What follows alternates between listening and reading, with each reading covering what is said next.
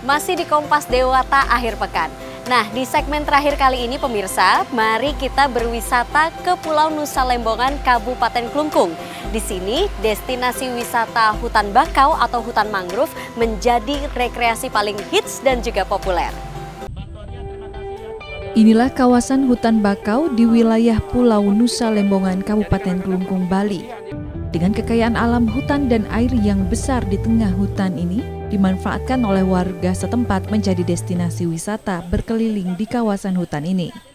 Perahu masuk pada sela-sela pohon mangrove dan hanya mengandalkan kekuatan tangan pengemudi untuk mendayung dan menjalankan perahu. Tidak pria, para ibu juga ikut menjadi pemandu karena sudah terbiasa mengendalikan perahu hanya dengan menggunakan galah. Salah satu wisatawan asal Medan, Nova mengaku tertarik berkeliling hutan mangrove.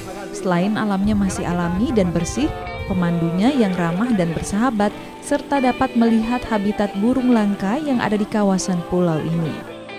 Tempatnya bagus, bagus nyaman, terus uh, yang guide-nya juga ramah. Hmm, guide ramah juga. Uh, Salah satu pelaku pariwisata setempat, Nyoman Triana mengaku kawasan mangrove sudah lama menjadi destinasi wisata dan keasriannya tetap dijaga, utamanya kebersihan dari sampah.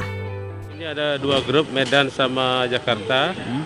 Uh, 15 orang dari Medan, Jakarta juga 15. Hmm. Tar, uh, kalau tarifnya gimana Pak untuk keliling Itu tarik tarifnya per sampan itu 150-an, tergantung 150 sampai 100 ada. Hmm. 54 orang berarti Pak ya? 4 orang isinya. 4 orang. Ya. Nusa Lembongan adalah pulau kecil yang terletak di Kelungkung, memiliki banyak daya tarik wisata alam dan menjadi destinasi tur populer. Untuk dapat menikmati wisata mangrove, satu perahu diisi empat orang wisatawan dengan tarif satu perahu Rp150.000. Budi Krista, Kompas TV, Kelungkung, Bali. Belum cukup rasanya berwisata ke Pulau Nusa Lembongan untuk melihat wisata hutan bakau atau hutan mangrove di sana. Sekarang saya akan mengajak Anda berwisata ke Desa Penglipuran Kabupaten Bangli. Berawal dari merawat tanaman hias, seorang warga di Desa Wisata Penglipuran Kabupaten Bangli ini memadu-madankan tanaman hias dengan kafe. Di sini pengunjung bisa menikmati hamparan tanaman bunga dan juga tanaman hias sambil menikmati kopi di sana. Jika kita berkunjung ke desa wisata penglipuran di Kabupaten Bangli, kini tidak hanya menikmati suasana desa dengan bangunan rumah tradisionalnya. Pasalnya di bagian utara desa kini terdapat kafe dengan suasana tanaman hias dan bunga, di mana di objek wisata ini kita bisa beristirahat bersama keluarga dan kerabat sambil menikmati beragam minuman dan makanan di sela berkunjung di desa wisata penglipuran. Selain itu, kita juga bisa bebas berkeliling sambil bersuap foto di tengah hamparan berbagai jenis bunga dan tanaman hias. Tidak hanya dilihat, bunga ini juga dapat dibeli dengan harga mulai dari Rp10.000. Kafe ini terbentuk saat penjualan bunga anjlok sehingga pemilik berinisiatif memadukan kafe dan tanaman.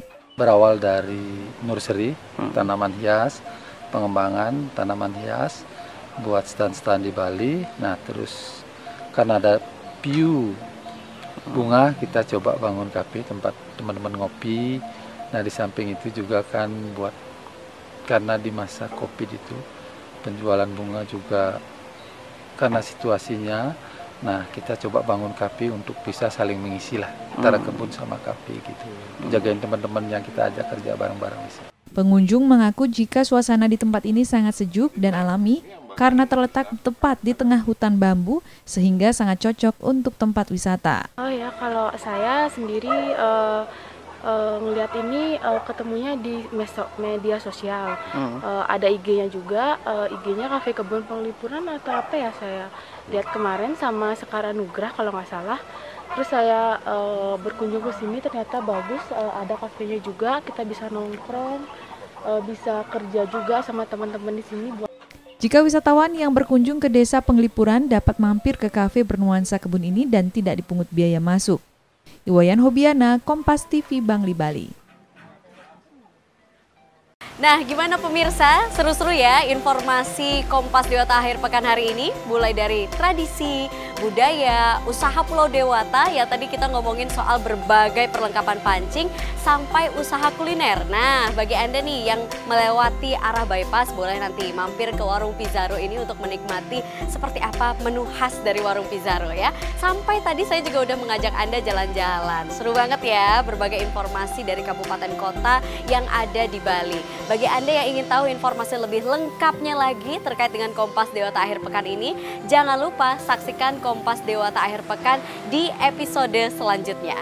Demikian Kompas Dewata akhir pekan untuk episode kali ini. Kita ketemu lagi di episode selanjutnya. Saya akhiri dengan para mesanti. Om Santi Santi Santi Om.